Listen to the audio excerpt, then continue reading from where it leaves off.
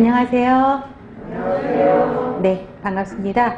자, 대박 열린 고시학원에서 간호사 국가고시 대비 기본간호학 강의하고 있는 오정아입니다. 자, 여러분들이 이제 기본간호학 시험을 보려고 준비를 하고 있는데요. 기본 간호학은 말 그대로 간호학의 기본을 의미하는 것이죠. 그래서 기본적인 환자에게 제공되는 기본 간호 행위와 관련되어 있는 부분을 다루고 있는 과목입니다. 그런데 우리가 이제 주로 실제 임상에서 수행하는 간호 수행과 관련된 부분들이 많은데 실제 여러분들이 실습하시면서 해볼 수 있는 기본 간호 항목들은 많이 제한되어 있었죠. 그죠? 그런데 기본 간호학 문제 패턴들이 이제는 이론적인 것보다는 실제적인 문제에 더 비중을 많이 두어서 문제가 출제되고 있는 것을 볼 수 있습니다.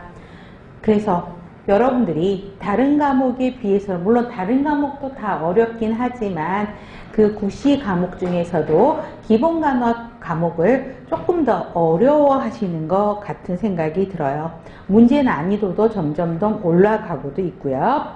자 그런데 기본 간호학을 공부하다 보면 여러 과목들과 공통적으로 부딪하는 내용들이 굉장히 많습니다. 성인 간호학, 그 다음에 간호관리학, 모성간호학, 아동간호학 이런 부분에서 서로 연결되는 부분들이 굉장히 많이 중복되어 있는 걸 볼 수 있어요. 그래서 기본간호학을 정리를 잘 해놓으면 타 과목을 공부하는 데 있어서 굉장히 많이 도움을 받을 수 있고요. 또 타 과목에서도 들어있는 부분들이 기본에서도 공통적으로 적용되는 부분들이 있을 겁니다. 자, 그런 부분들을 조금 더 요점 정리해서 보면 좋겠고요. 국시 문제는 기본적으로 30문제죠. 그래서 여러분들이 알고 계시는 목차를 한번 생각해 보시면 기본에서 많이 나오는 출제 빈도가 높은 단원 부분들은 어딜까요? 간호과정 부분들은 많이 빠졌어요. 최근의 분위기는. 그래서 나오는 게 간호 사정하는 거, TPR, 바이탈 사인과 관련되는 부분들이 좀 많이 나오고요. 그 다음에 또 가장 출제 빈도가 높은 부분이 투약 부분이죠. 그래서 투약 부분. 또 어디 부분이죠? 산소화 부분, 그 다음에 운동과 활동 부분, 그쪽 부분들이 출제 빈도가 훨씬 더 많이 낮게 나옵니다. 그래서 그런 문제에 맞춰서 수업을 진행을 할 거고요. 이번도 다른 과목과 마찬가지로 모의고사 6회 문제로 12시간 진행을 할 예정입니다. 제가 하는 수업 방식은 어, 제가 조금 과목을 많이 하다 보니까 네 과목을 하게 되는데 진행 방법은 거의 비슷합니다. 하는 잔소리도 비슷하게 되죠. 항상 하는 잔소리 뭐예요?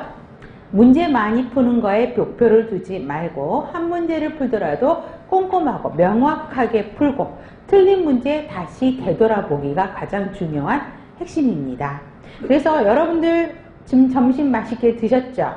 그쵸? 그래서 제가 여러분들한테 식사를 잘 하실 수 있도록 또 소화하기 쉽도록 여러 가지 반찬을 만들어서 상을 잘 차려놨어요. 그럼 여러분들이 하실 일은 뭐예요? 여러분 상 차리는 게 쉽지 먹는 거는 어렵지 않으시죠? 준비하는 데 시간이 많이 걸리죠? 그래서 상을 차려놨으면 여러분들이 하셔야 될 일은 한 수저를 들어서 한 스푼 한 스푼씩 아니면 여러 반찬들을 하나씩 집어서 꼭꼭 씹어서 내 걸로 소화시키는 역할을 여러분들이 하셔야 될 역할입니다. 그거를 다시 보미팅 하시거나 그런 액션을 취하면 안 되겠죠. 또 급하게 먹다 보면 어떤 일이 벌어져요? 체하는 수가 있죠. 그런 일이 없도록 하나씩